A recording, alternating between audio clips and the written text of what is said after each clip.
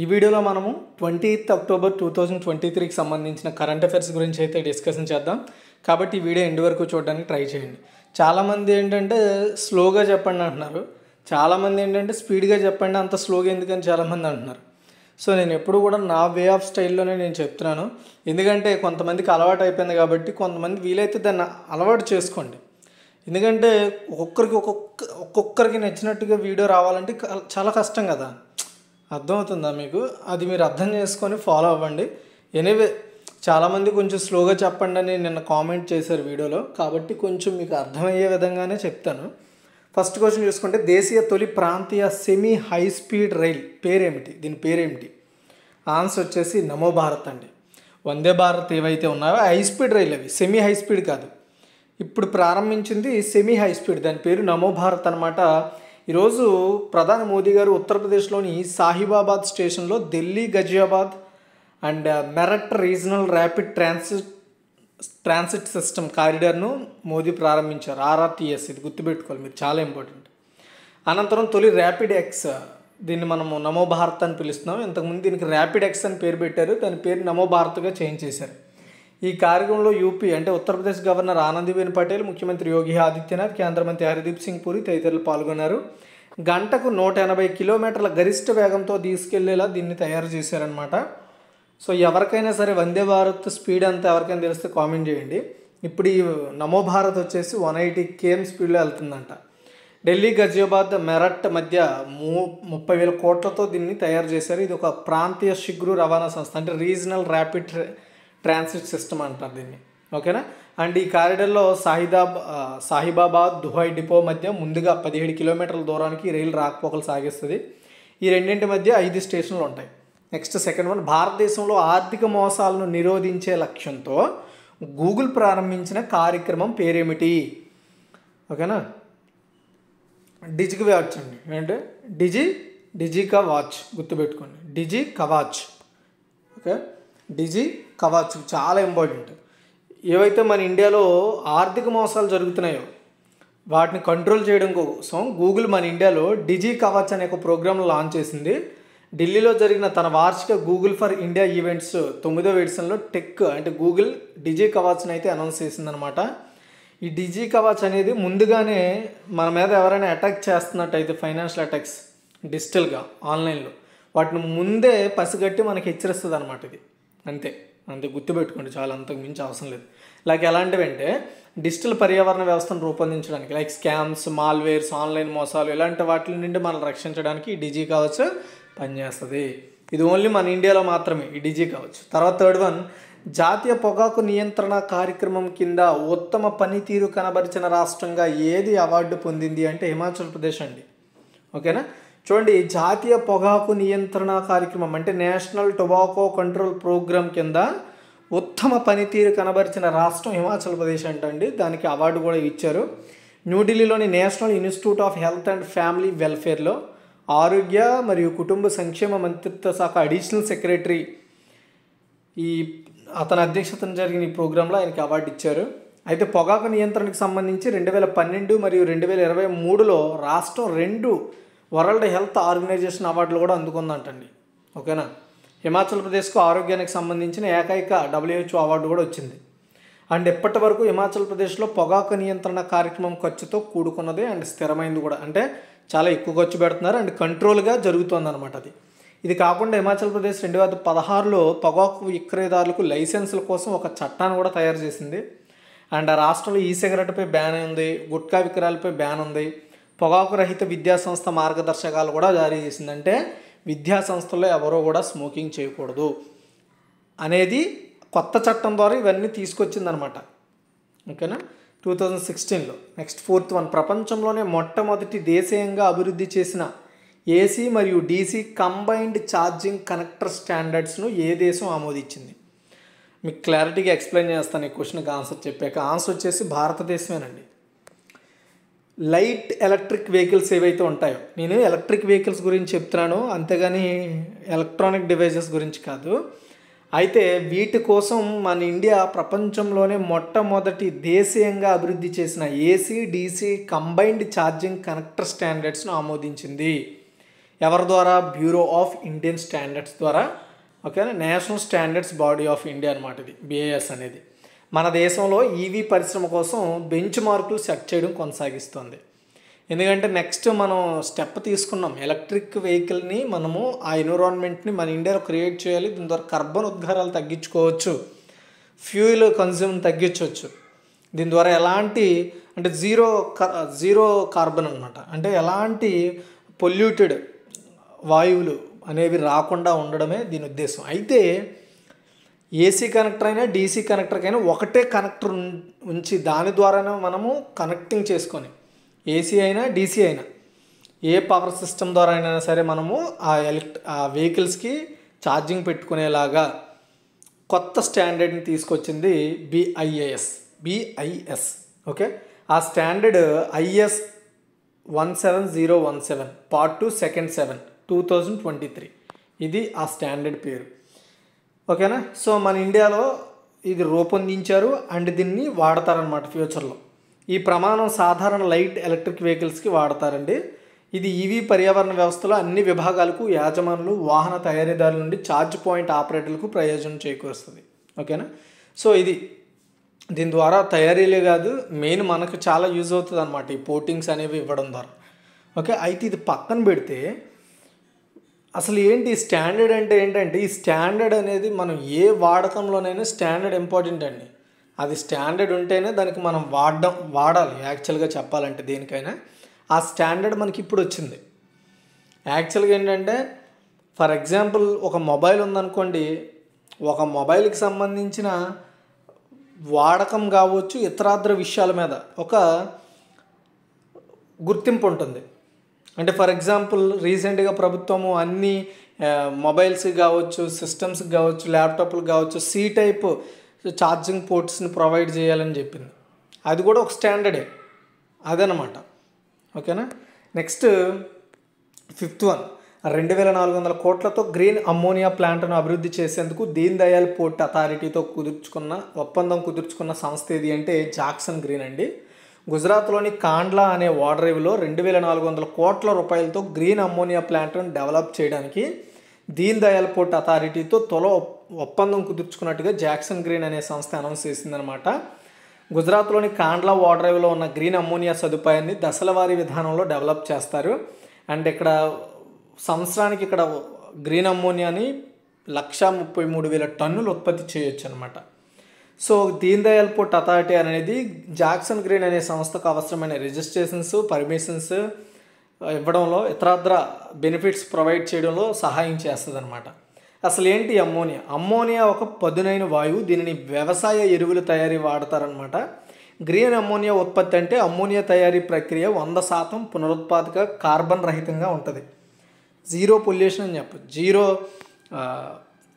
Issues okay ammonia తయారీలో. Next sixth one ఏ సరిహద్దుల్లో National Highways Authority of India దేశంలోనే అత్యంత ఎత్తైన జాతీయ జెండాను ఏర్పాటు చేసింది అంటే అట్టారి వాగా అండి.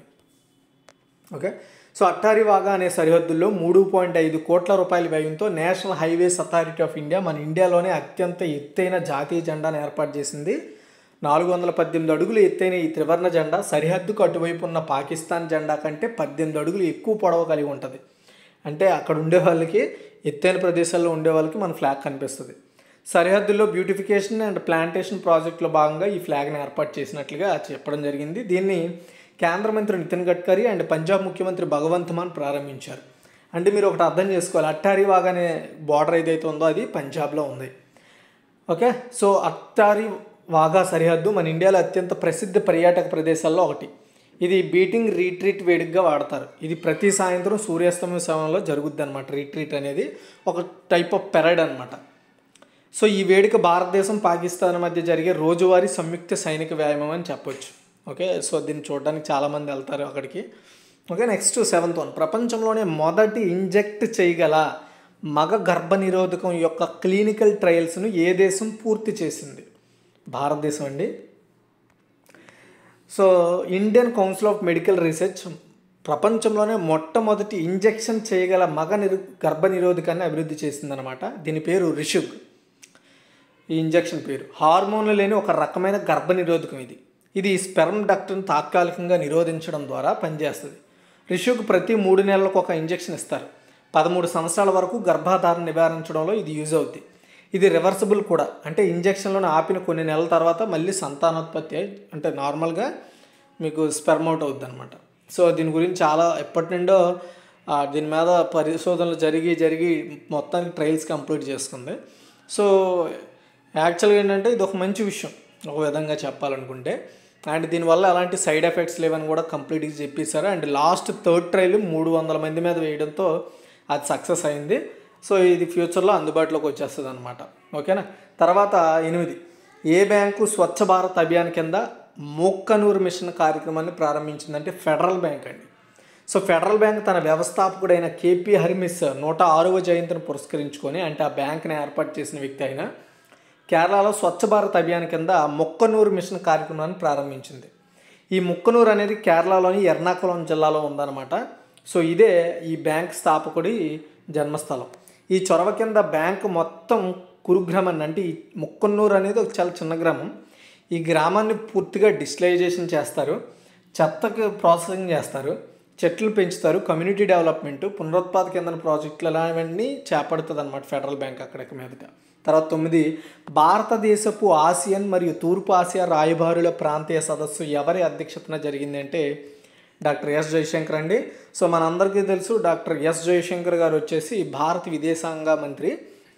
ఆయన అధ్యక్షతన భారతదేశపు ఆసియన్ మరియు తూర్పు ఆసియా రాయబారులు ప్రాంతీయ సదస్సు సింగపూర్లో జరిగిందండి. ఈ యొక్క ప్రాంతం ఇటీవల పరిణామాలను సమీక్షించడం భారతదేశంపై వాటి ప్రభావాన్ని అంచనా వేయడం ఇక్కడ జరిగే చర్చలు వాటి మీద. భారతదేశం మరియు సింగపూర్ సుదీర్ఘ భాగస్వామ్యాన్ని కలిగి ఉన్నాయి. ఇది రెండు వేల పదిహేనులో వ్యూహాత్మక భాగస్వామ్యానికి అప్గ్రేడ్ చేశారు. అండ్ ఈ సంవత్సరం సింగపూర్ను అతి అతిథి దేశంగా మన భారతదేశం ఉంది కదా జీ ట్వంటీ సందర్భంగా దాన్ని ఆహ్వానించింది కూడా సింగపూర్ని. ఓకే నెక్స్ట్ అది సింగపూర్కి మనకి ఉన్న టైఅప్స్ తర్వాత పది రెండు వేల ఇరవై నాలుగులో ఈపిక్స్ రెండవ ఎడిషన్ను ఏ భారతీయ నగరంలో నిర్వహించనున్నారు అంటే హైదరాబాద్ అండి. నెక్స్ట్ ఇయర్ అంటే టూ థౌజండ్ ట్వంటీ ఫోర్లో ఈపిక్స్ సెకండ్ ఎడిషన్ను హైదరాబాద్ హోస్ట్ చేయనుంది. ఫెడరేషన్ ఇంటర్నేషనల్ డిఎల్ ఆటోమొబైల్ దీన్ని ఎఫ్ఐఏ అంటారు. ఇది ఫార్ములా ఈ ఈ రేసును రెండు ఎడిషన్ను హైదరాబాద్లో నిర్వహించబోతుంది అన్నట్లు అనౌన్స్ చేసింది. ఈ రేసు ఫిబ్రవరి పది రెండు వేల ఇరవై నాలుగులో నిర్వహిస్తారు. FIA Formula E World Championship season పదిలో హైదరాబాద్ అండ్ షాంఘై ఆతిథ్య నగరాలుగా కన్ఫర్మ్ చేశారు. నెక్స్ట్ పదకొండు ఇటీవల ఏ రాష్ట్రంలో కేంద్ర మంత్రి అనురాగ్ సింగ్ ఠాకూర్ పదిహేను కిలో ఇండియాస్ కేంద్రాలను ప్రారంభించారు? హర్యానా అండి. సో హర్యానా రాష్ట్రంలో పదిహేను కిలో ఇండియా కేంద్రాలను ముఖ్యమంత్రి మనోహర్ లాల్ ఖట్టర్ కేంద్ర క్రీడా మంత్రి అనురాగ్ సింగ్ ఠాకూర్ వర్చువల్ సమక్షంలో ప్రారంభించారు. కేంద్ర ప్రభుత్వం ఇప్పటికే దేశవ్యాప్తంగా వెయ్యి కిలో ఇండియా కేంద్రాలను నోటిఫై చేసింది. ఒక్కొక్కటిగా ప్రారంభిస్తుందన్నమాట. సో మనందరికీ తెలుసు కిలో ఇండియా కేంద్రాలు ఏంటంటే ఎవరైతే క్రీడ మీద ఇంట్రెస్ట్ ఉండే వాళ్ళు ఉంటారో అలాంటి వాళ్ళని ఎంపిక చేసి వాళ్ళకి శిక్షణ ఇచ్చి శిక్షణ ఇచ్చి ఆడేలా చేస్తుంది. అంతే సింపుల్గా. అయితే రీసెంట్గా ఏ కేంద్రపాలిత ప్రాంతంలో కిలో ఇండియా కేంద్రాల ఏర్పాటుకు క్యాబినెట్ అప్రూవల్ తెలిపింది? రీసెంట్గా చెప్పాను ఎవరికైనా తెలుసు కామెంట్ చేయండి. నెక్స్ట్ పన్నెండు. ప్రపంచ బోలి ఎముకల వ్యాధి దినోత్సవాన్ని ఎప్పుడు జరుపుకుంటారంటే అక్టోబర్ ఇరవై అండి. సో యాక్చువల్గా దీన్ని మనము సో ఆస్టియోపొరాసిస్ అని కూడా అంటాం. ఓకేనా? అంటే వ వరల్డ్ ఆస్టో ఆస్టియోపొరాసిస్ డే అని అంటాము. తెలుగులో అయితే బోలెముకల ఎముకల వ్యాధి అంటాం. సో ఈ బోలెముకల ఎముకల వ్యాధి నివారణ రోగ నిర్ధారణ చికిత్సకు సంబంధించిన అవగాహన పెంపొందించడానికి ప్రపంచ ఆస్టియోపొరాసిస్ డే జరుపుకుంటాం. బోలెముకల వ్యాధి అనేది ఎముకల్లో ఆకస్మిక నిర్వహణ మార్పుల ద్వారా వస్తుంది. అండ్ అంటే సింపుల్గా చెప్పాలంటే చాలామంది కాలు వంకరగా ఉండడం లేదా చేతులు వంకరగా ఉండడం. సో ఇవి బోలి ఎముకలు అంటారు ఇలాంటి వాటిని. సో అలా అది ఒక వ్యాధి అని చెప్పొచ్చు. సో వాటిని నివారించడం కోసం వాటి మీద అవగాహన పెంచడం కోసం ఈ డే సెలబ్రేట్ చేస్తారు. అంతర్జాతీయ ఆస్టియోపొరాసిస్ ఫౌండేషన్ ఏర్పాటును గుర్తుపెట్టుకొని సో నైన్టీన్ నైన్టీన్ నైంటీ ఎయిట్లో ఈ యొక్క అంతర్జాతీయ ఆస్టియోపొరాసిస్ ఫౌండేషన్ ప్రపంచవ్యాప్త సమస్య నిర్ధారణ కోసం ఈ డేని ఏర్పాటు చేయాలని డిసైడ్ అయింది. సో ప్రపంచ ఆస్టియోపొరాసిస్ డే రెండు వేల ఇరవై మూడు యొక్క theme step up for a bone health build better bones. తర్వాత పదమూడు భారతదేశంలో జాతీయ సంఘీభావ దినోత్సవాన్ని ఎప్పుడు జరుపుకుంటారు? సో సాలిడారిటీ డే అంటారు. మన ఇండియాలో అక్టోబర్ ఇరవై జరుపుకుంటారండి. ఎందుకంటే యుద్ధ ధైర్య సాహసాలు యుద్ధ సైనికుల కుటుంబాన్ని గౌరవించడం మిలిటరీ నేవీ ఎయిర్ సైనికులతో రక్షణ సాయుధ దళాలను గౌరవించడం కోసం. పంతొమ్మిది వందల అరవై రెండులో ఇండియాకి చైనాకి జరిగిన యుద్ధం ఉంది కదా? దీనిలో నైన్టీన్ సిక్స్టీ టూలో ఇండో చైనా యుద్ధం అని పిలుస్తారు దీన్ని యాక్చువల్గా కాశ్మీర్ సరిహద్దు సమస్య కోసం యుద్ధం జరిగింది. యుద్ధం ఇరవై అక్టోబర్ పంతొమ్మిది వందల అరవై రెండున స్టార్ట్ అయింది. కాబట్టి ఆ స్టార్ట్ అయిన రోజుని ఈ డే సెలబ్రేట్ చేస్తారు. ఒక నెల పాటు జరిగింది యుద్ధం. సో చివరికి నవంబర్ ఇరవై ఒకటిన కంప్లీట్ అయింది. ఆ యుద్ధంలో భారత్ చైనా చేతిలో ఓడిపోయింది. మరియు చాలామంది భారతీయ సైనికులు కూడా పట్టుబడ్డారు. కాబట్టి భారతదేశం చివరకు కాశ్మీర్లోని కొన్ని భాగాలను ఆక్రమించింది. దీనికి సిఓకి అంటే చైనా ఆక్రమిత కాశ్మీర్ అని పేరు పెట్టారు ఆ ప్రాంతానికి. చైనా ఆక్రమించిన ప్రాంతానికి. నైన్టీన్ సిక్స్టీ సిక్స్లో భారతదేశ ప్రధానమంత్రి ఇందిరాగాంధీ ఆధ్వర్యంలో ఉండేది. యుద్ధంలో పాల్గొన్న సైనికులను గౌరవించడం యుద్ధంలో ప్రాణత్యాగం చేసిన సైనికుల కుటుంబాలను గౌరవించడం కోసం అక్టోబర్ ఇరవై ఐదున యుద్ధ జ్ఞాపకార్థకంగా జాతీయ సంఖ్యభావ దినోత్సవంగా జరుపుకుంటారనమాట ఓకే? సో ఇదిగా ఓవరాల్గా ఈరోజు total current affairs quick review చూద్దాం. దేశీయ తొలి ప్రాంతీయమే సమయ హైస్పీడ్ రైల్ పేరు ఏమిటంటే నమో భారత్ భారతదేశంలో ఆర్థిక మోసాలను నిరోధించే లక్ష్యంతో గూగుల్ ప్రారంభించిన కార్యక్రమం ఏంటంటే డిజీ కవచ్ జాతీయ పొగాకు నియంత్రణ కార్యక్రమం కింద ఉత్తమ పనితీరు కనబరిచిన రాష్ట్రం ఏది అంటే హిమాచల్ ప్రదేశ్. ప్రపంచంలో మొట్టమొదటి దేశీయంగా అభివృద్ధి చేసిన ఏసీ మరియు డీసీ కంబైన్డ్ ఛార్జింగ్ కనెక్టర్ స్టాండర్డ్ని ఏ దేశం ఆమోదించింది అంటే భారతదేశం. రెండు వేల నాలుగు వందల కోట్ల రూపాయలతో గ్రీన్ అమ్మోనియా ప్లాంట్ను అభివృద్ధి చేసేందుకు దీన్ దయాల్ పోర్ట్ అథారిటీతో ఏ సంస్థ ఒప్పందం కుదుర్చుకుందంటే జాక్సన్ గ్రీన్. ఏ సరిహద్దులో National Highways Authority of India దేశంలో అత్యంత ఎత్తైన జాతీయ జెండాను ఏర్పాటు చేసిందంటే అంటారివాగా. ప్రపంచంలో మొదటి ఇంజెక్ట్ చేయగల మగ నిరు గర్భ నిరోధక యొక్క క్లినికల్ ట్రయల్స్ని ఏ దేశం పూర్తి చేసింది? ఇంజెక్షన్ ఇంజెక్షన్ యొక్క క్లినికల్ ట్రయల్స్ని ఏ దేశం కంప్లీట్ చేసిందంటే మన ఇండియా. ఏ బ్యాంకు స్వచ్ఛ భారత్ అభియాన్ కింద మొక్కన్నూరు మిషన్ కార్యక్రమాన్ని ప్రారంభించిందంటే ఫెడరల్ బ్యాంక్. భారతదేశపు ఆసియాన్ మరియు తూర్పు ఆసియా రాయబారుల ప్రాంతీయ సదస్సు ఎవరి అధ్యక్షతను జరిగిందంటే డాక్టర్ ఎస్ జయశంకర్. రెండు వేల ఇరవై మూడు గుర్తుపెట్టుకోండి ఆ ఇయర్. రెండు వేల ఇరవై నాలుగులో ఈ ప్రిక్స్ రెండవ ఎడిషన్ అంటే ఫార్ములా రేస్ అనమాట ఏ భారతీయ నగరంలో నిర్వహించనున్నారంటే హైదరాబాద్. ఇటీవల ఈ రాష్ట్రంలో కేంద్ర మంత్రి అనురాగ్ సింగ్ ఠాకూర్ పదిహేను కిలో ఇండియా కేంద్రాలు ప్రారంభించారంటే హర్యానా. ప్రపంచ బోలి వ్యాధి దినోత్సవం ఎప్పుడు జరుపుకుంటారంటే అక్టోబర్ ఇరవై. భారతదేశంలో జాతీయ సంఖ్యాభావ దినోత్సవం ఎప్పుడు జరుపుకుంటారంటే అక్టోబర్ ఇరవై. Thanks for watching guys